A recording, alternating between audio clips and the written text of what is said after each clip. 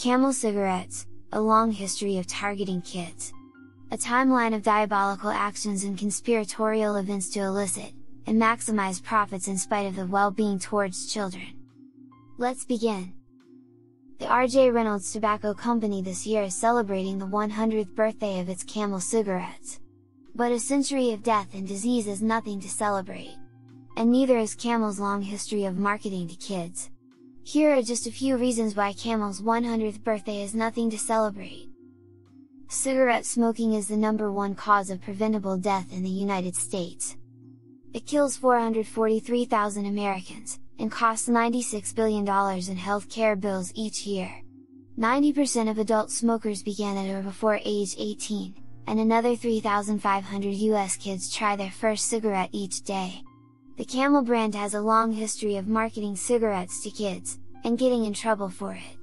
From 1988 to 1997, Camel targeted kids with a hip cartoon character, Joe Camel, that significantly boosted the brand's market share among youth smokers, and became nearly as recognizable to 6-year-olds, as Mickey Mouse.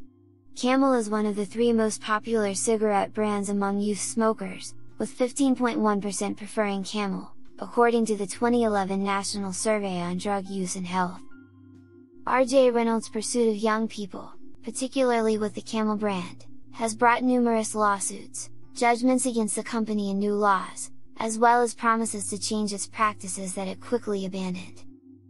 To remove any doubt from the public, here is a quote from RJ Reynolds, it was obtained from an internal company document. Realistically, if our company is to survive and prosper, over the long term, we must get our share of the youth market. 1973, RJ Reynolds document called, some thoughts about new brands of cigarettes for the youth market. Repositioning Camel, to attract younger smokers. RJ Reynolds' once secret internal documents, show that attracting underage smokers has long been a top corporate objective. In one 1973 memo that foreshadowed Joe Camel, an RJ Reynolds official wrote, in view of the need to reverse the preference for Marlboros among younger smokers, I wonder whether comic strip type copy might get a much higher readership among younger people than any other type of copy. A 1976 company document warned, evidence is now available to indicate that the 14 to 18 year old group is an increasing segment of the smoking population. RJ must soon establish, a successful new brand in this market if our position in the industry, is to be maintained over the long term. And another memo said, to ensure increased and longer term growth for Camel Filter, the brand must increase its share penetration among the 14 to 24 age group, which have a new set of more liberal values and which represent tomorrow's cigarette business. The Federal Trade Commission, in a 1997 unfair practice complaint against R.J. Reynolds, and U.S. District Court Judge Gladys Kessler, in a 2006 judgment that R.J. Reynolds, and other tobacco companies violated civil racketeering laws. Both concluded that, the company's perceived need, to attract more of the youth market led to the launch, of the Joe Camel campaign in 1988. Their conclusions were The FTC said, the purpose of the Joe Camel campaign was to reposition the Camel brand to make it attractive to younger smokers.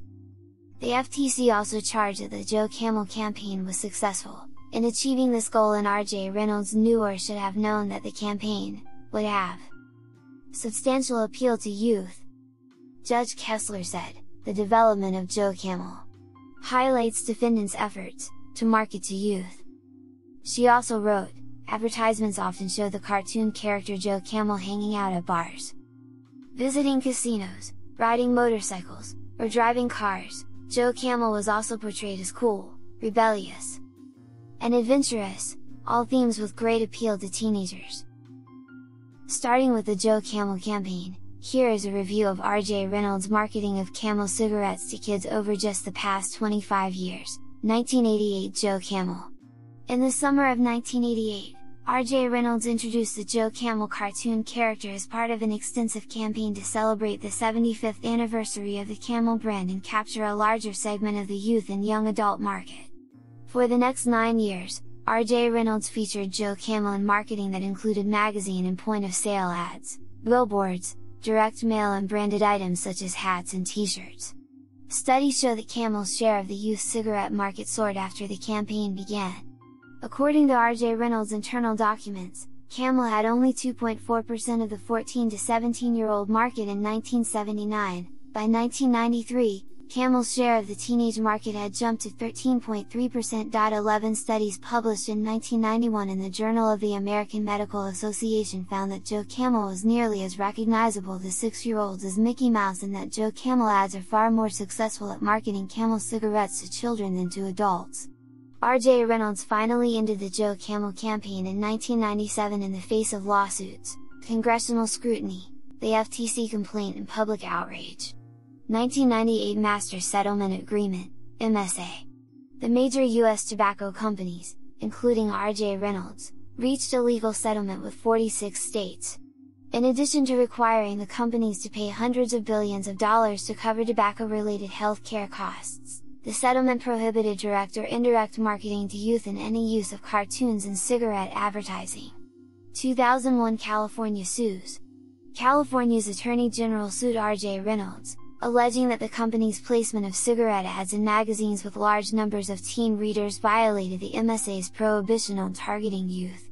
In 2002, a California judge found RJ Reynolds liable, a ruling upheld by a California Court of Appeal. Under a 2004 settlement of the case, RJ Reynolds agreed not to advertise in magazines with large teen readerships and paid $17.25 million in penalties and costs. 2004 Camel Candy Store. Camel aggressively marketed a kaleidoscope of flavored cigarettes, with names like Kauai Kolada, Twist a Lime, Warm Winter Toffee and Winter Mocha Mint. Ads ran in magazines with large youth readership. In October 2006, RJ Reynolds signed a settlement with 39 state attorneys general in which it agreed to stop marketing candy, fruit and alcohol flavored cigarettes.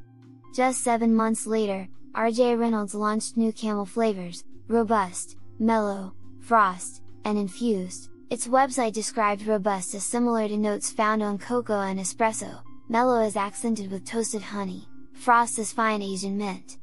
While the creamy finish delivers a smooth, buttery aftertaste, and Infused is offering notes of citrus and a sweet apple-like flavor. A 2009 federal law, the Family Smoking Prevention and Tobacco Control Act, banned candy and fruit flavored cigarettes. 2005 Doing Shots Under pressure from state attorneys general, RJ Reynolds ended a promotion called, Drinks on Us in which young adults celebrating their birthdays received coasters from the company that were imprinted with recipes for cocktails with high alcohol content. The mailings encouraged excessive drinking with slogans such as Camel cigarettes layer it on, go till daybreak. Alcoholic beverage companies also complained, the Associated Press wrote, the Distilled Spirits Council of the United States said the promotion was apparently directed to individuals aged 18 and older, with wording promoting excessive and irresponsible consumption of alcohol. 2006 Guilty of racketeering. In a landmark federal court ruling, Judge Kessler found RJ Reynolds and other tobacco companies guilty of violating civil racketeering laws and engaging in a decades-long fraud to deceive the American public about the health risks of smoking in their marketing to children. Highlighting the Joe Camel campaign, she found that from the 1950s to the present, RJ Reynolds and the other tobacco company defendants have intentionally marketed to young people under the age of 21 in order to recruit replacement smokers to ensure the economic future of the tobacco industry. In her opinion, Judge Kessler cited RJ Reynolds' repeated end runs on pledges it made in signing the MSA. Even in the core area of youth marketing, RJR did nothing to change its magazine placement policies after signing the MSA in November 1998 until the day that the California Attorney General filed suit against it in March 2001. Indeed, the appellate court affirmed the trial court's determination that RJR studiously avoided measuring its advertising exposure to youth probably because it knew the likely result of such analysis.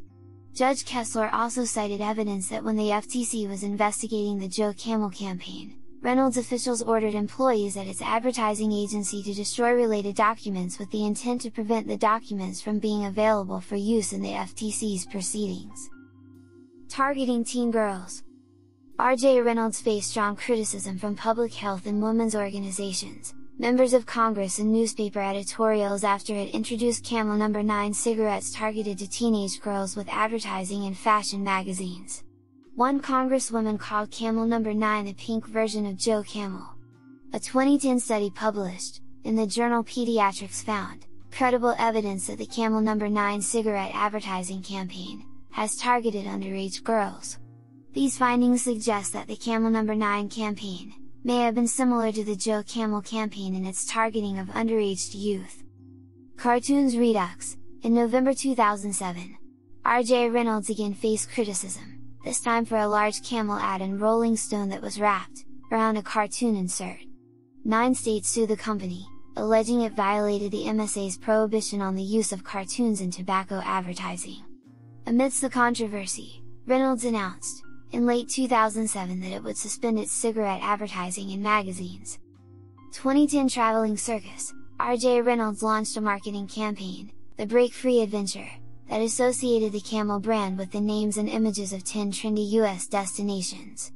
Some local public officials protested, and the National Association of Attorneys General urged Reynolds to stop the campaign, charging it was using aspects of popular culture, including independent music, art, motorsports, and hipper countercultural attitudes, to advertise Camel cigarettes in a way that is appealing to young people's psychological needs for rebelliousness, sensation seeking, and risk taking. 2013 Back in Kid Popular Magazines, in April 2013, after a five-year hiatus, RJ Reynolds resumed placing cigarette advertisements in magazines, including several with large teen readerships such as ESPN The Magazine, Sports Illustrated, and People. Teen readership, 12 to 17 years old, total 12.9 million for just 9 of the 23 magazines that carried these ads, according to GfK MRI data. The ads were for Camel Crush cigarettes. Thank you for listening to this quest for the truth. All facts are taken from court documents, internal company documents and emails and newspaper articles. The fact-checking and gathering attribution is in great thanks to the efforts of, the Campaign for Tobacco Free Kids, June 18, 2013.